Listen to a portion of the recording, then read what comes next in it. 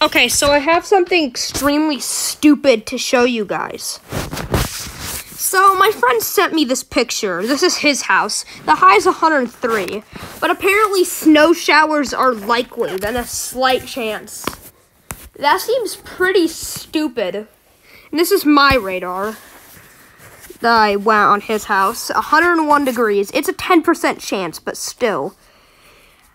That is, there's, I don't know. I, I don't know if this is right or not, but something doesn't seem normal. Like, something doesn't seem quite right.